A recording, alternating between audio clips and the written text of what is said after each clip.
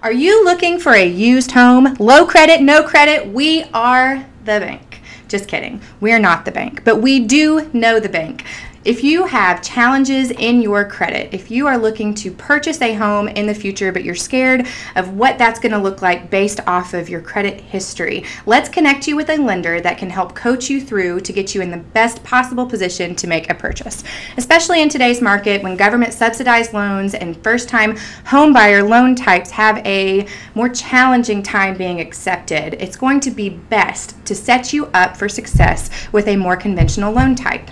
Don't call a credit fixer. You know, those, sometimes those can hurt your credit scores a little bit more than they do help. Talk to a loan officer that you can trust figure out what it is that you need to do to um, to make a difference in your credit score and how much money that you might have in the bank. Um, all of those pieces play a part in purchasing a home, um, and and it's best to be coached by somebody who is an expert to make that happen. They are the roadmap for you. Happy Monday.